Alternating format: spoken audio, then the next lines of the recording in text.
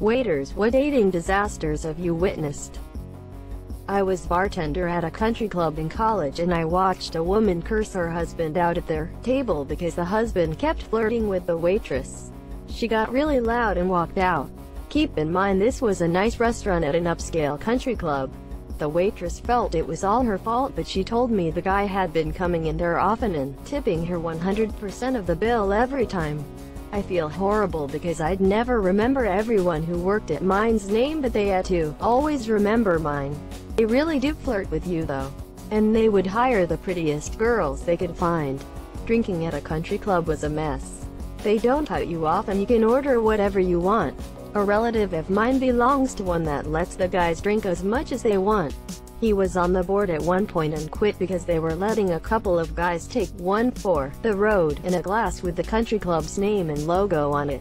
So if they get pulled over or even worse, kill someone, there's no question where they're coming from. I worked at a bar in a hotel for five years. I had a table come down from their hotel room and sit at one of my pub tables for dinner.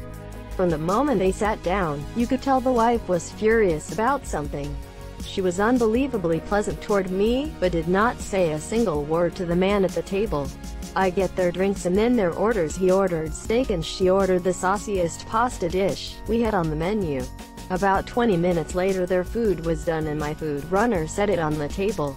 Right as I was about to walk over to see if they needed anything else, I saw the woman stand up, say go yourself, John, as she picked up the plate of pasta and dumped it all over his head and down into his lap.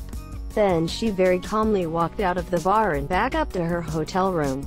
I spent a few minutes helping the man clean up and got my manager to come handle the situation from there as it was way above my pay grade at that point. Later in the night the woman came back to the bar without the man and we talked for a while. Turns out he admitted to cheating on her right before their dinner reservation. I never saw either of them again. Why go out for dinner after admitting to cheating? Even if I was hungry, I would want to have a discussion about that.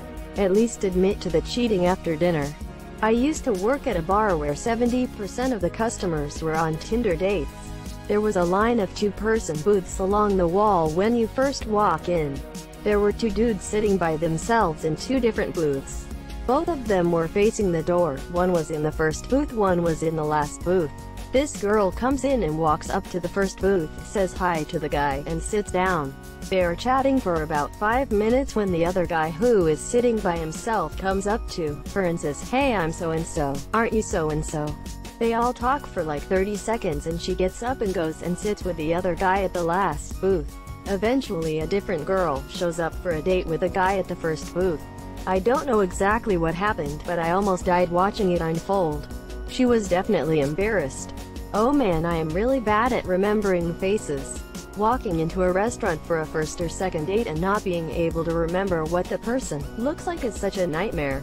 I'm married now so I'm safe from the baddest dating. I was a waiter at a very famous, upscale restaurant and a gentleman approached the maître requesting someone take pictures of him, proposing to his girlfriend. Since I was the closest to the maître I was tasked with performing this duty. After stalking the table for a solid hour the moment was inevitably approaching. I set up at an angle she couldn't see me and when he busted out the ring I started taking as many pictures as I could. Anyone who has tried to capture a once-in-a-lifetime moment on camera knows that you're not really watching what's going on, you're just trying to frame the moment. After about 20 to 30 pictures I slowly realized that she was declining the proposal and the scene was quickly degenerating into a five-alarm dumpster fire. However I was far enough away that I couldn't hear what was being said and couldn't be sure of what was transpiring so I continued taking pictures just in case. Finally I stepped back and watched the scene unfold in reality as she stormed out of the restaurant, in embarrassment and he scrambled to pay the bill and chase after her. He'd requested that I use my phone and send the best pictures to him. Needless to say, he never approached us for the pictures and I have about 100 plus pictures of a wedding proposal gone wrong somewhere deep in my iCloud photo bank. What a sad ending to a first date. Classic Schmosby. I worked fine dining in Vail, Colorado. I once saw a lady throw red wine all over a guy's shirt and leave. He sat and continued eating his spaghetti plate. No. Shirt's already ruined. Now, he doesn't even have to be careful with the spaghetti. A smart man, he was. I was bartending at a restaurant in San Francisco. This guy came in and ordered a vodka martini. He downed it and ordered another. Halfway throughout his third he called his wife and asked for a divorce. After he hung up we talked about the Red Sox. Ha ha ha ha. Honey, I want a divorce. And GT, Click and LT, hey, how about them Red Sox? Guy 1 and GF are fondling each other at my bar. Guy 2 joins them at the bar and they quickly separate and behave. The three go off into the casino but stop back for drinks a few times. Early AM Guy 2 does a shot and walks away. I can tell he isn't happy. He comes back and says he has a couple of hours to kill before his plane leaves. We get to chatting and he tells me he just broke up with his GF as suspects she snuck up to the room and nailed his best friend when he couldn't find either of them for an hour. I ask if it was Guy 1 and GF. He confirms it and I let him know he is making the right choices they were making out at the bar, before he came down. He thanks me for confirming, leaves a huge tip, and lets me know what is happening in case there is any confusion with the hotel. An hour or so later Guy 1 and GF are at the bar whispering and arguing. I casually ask if everything is okay. They say they are locked out of their room and can't find their friend who paid for the room. They tried to charge the bill to the room too but my computer showed the room was empty.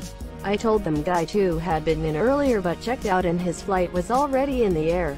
Then I watched a meltdown. Guy 1 had paid for his BFF and GF to spend a week in Vegas with him. They cheated and got caught. He checked out and flew home and they had nowhere to stay for the week and no money for even basic food. Their luggage had been packed and left in the baggage hold. They did everything they could to get out of paying for their drinks as they were hella expensive, left no tip, and didn't have a place to sleep or even change clothing at 5 a.m. TLDR, don't cheat on the person paying your way if you can't pay your own way. Must have been pretty satisfying to leave them there. Idiots. This was probably about four years ago, in a joint called the Esquire Tavern on the Riverwalk. We had a street entrance as well as a river entrance, but from the river you had to walk up a really narrow metal staircase to our balcony. It barely had enough room for five small tables, including one that was tucked in a corner that made it hard to see from below. Anyways, it was a slow summer lunch so I was doubling as a hostess, and this guy comes up from the river entrance and asks for a spot on the patio, specifically the hidden cramped one. No problem sir, I say, and I get him set up. We chat for a bit, I take his order, bring it out and go about my business which was to passively watch him through the window because he was my only table and I wanted to keep an eye on him. I started to notice him suddenly ducking his head, as if he's trying not to be seen from the river level by someone. I remember pointing it out to another coworker, who was just as curious as I was. Then we heard a woman scream, There you are Marcos, you piece of... I could hear the staircase shuddering as someone was clearly stomping their way up it, and my coworker astutely dipped out to find the manager. The lady started laying into this dude, and all I could make out was something about ditching her. All the while he's just ignoring her and calmly eating his buffalo burger, which made her snap. She slapped the out of this dude, telling him to acknowledge me, and he simply got up, walked around her and came inside to sit at the bar. She then sits down and starts eating this poor man's meal like nothing is wrong. By this point though the manager is here and he goes outside and starts trying to kick her off the premises while I go talk to Marcos and figure out what's what. The TL doctor is that the woman was his wife, and they had come downtown for lunch. She had a habit of getting super fucked up and belligerent which always ended up ruining their plans, including a wedding reception a few months prior. She refused to go get help, insisting that she'd keep her drinking to a minimum, and this was their first vacation since that incident. They had stopped at a brunch place around the corner and she proceeded to have four old fashions, back to back. When she was ordering her fourth drink, he told her that she was already out of control, and that if she kept drinking, he was going to close the tab and go eat lunch somewhere else, and that he'd meet her back at the hotel. She told him he was chicken and that he wasn't going anywhere.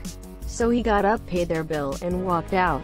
I guess she thought he was putting up a front and was actually waiting outside for her, then realized he wasn't. She started running up and down the river looking for him. He just wanted to finish his burger in peace before dealing with her craziness.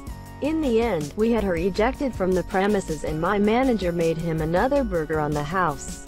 A year or so later, we saw him at the bar with a different woman. He divorced his wife and couldn't look happier.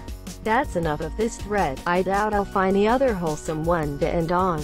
I used to bartend at a Yard House in the before times Yard House is a corporate place that's basically a nicer sports bar with a ton of beer on tap with stupid, giant novelty glasses. I had a couple at the bar during happy hour drinking from one of the big glasses and they ordered some onion rings that were half price. He jokingly proposed with an onion ring and she started laughing and jokingly said yes then he busted out an actual ring. She wasn't laughing anymore. I asked my wife to marry me. She didn't say no or yes. She just brushed it off. A few weeks later, out of the blue she jokingly says, I'll marry you. I need insurance. My job doesn't offer it.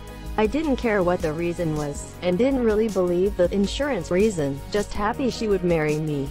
As time went by, this started to eat at me, and about a year and a half later, she again out of the blue says, you know I was joking about the insurance. I wanted to say yes the first time, but you caught me off guard and I was embarrassed. The insurance thing was a way for me to bring it up again, and get you to ask me again.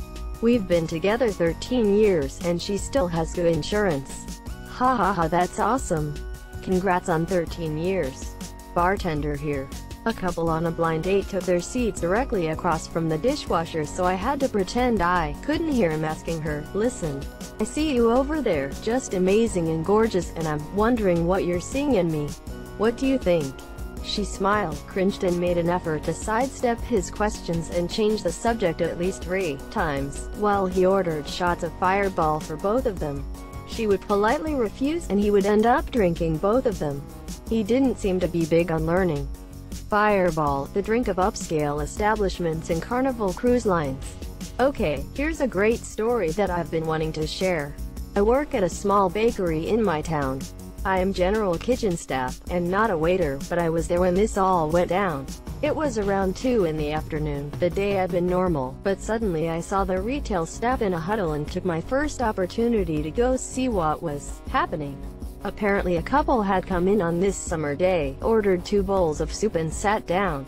The girl that took their order went to the back and prepared their soup for them, then brought it back out. In the time it took for her to get the soup, the woman had taken off her flip-flop, put her leg across the table, and the guy was going to town sucking on this lady's toes in the middle of the restaurant. The waitress didn't notice until she went to place the soup on the table. She stood there in shock and the couple was oblivious to her presence. This guy is going all in, and the lady is starting to moan by the time they realize their soup is ready. The waitress was in complete shock for the rest of her shift, and that couple is no longer allowed on the premises. This place has even more weird stories, from someone forcing open the back door to ask for a hamburger to a complete stranger coming out of the basement and acting like he's supposed to be there. Not to mention the time I watched a bird fly out of a hole in the ceiling. Kentucky can be a weird place.